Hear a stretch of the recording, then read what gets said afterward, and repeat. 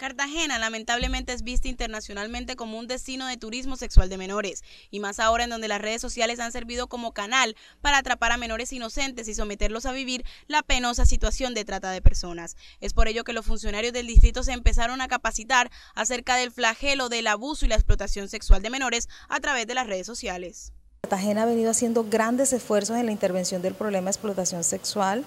Eh,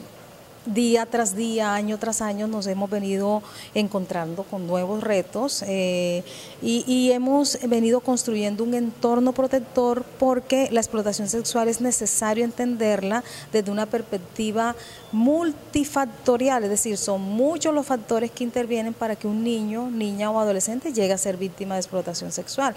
Y por supuesto, la intervención tiene que ser intersectorial que es lo que estamos logrando en Cartagena. Pero ahora tenemos un nuevo reto grandísimo, que es el entorno digital.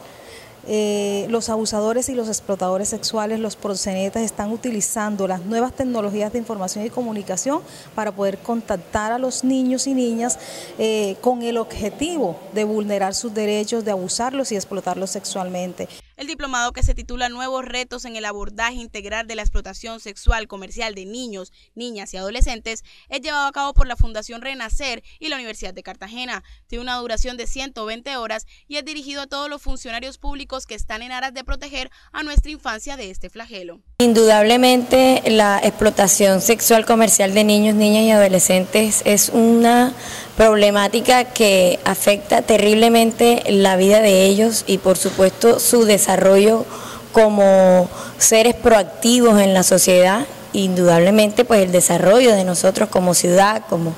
como sociedad. Entonces pues me parece supremamente importante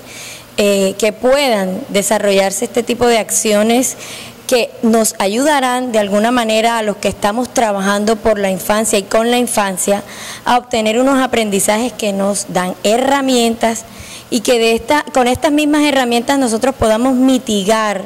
esa problemática que viene afectando a, a la población más importante de nuestra ciudad, que son los niños, niñas y adolescentes. Se espera que este tipo de actividades también se abran para el público en general, para que juntos podamos trabajar por nuestros niños, niñas y adolescentes.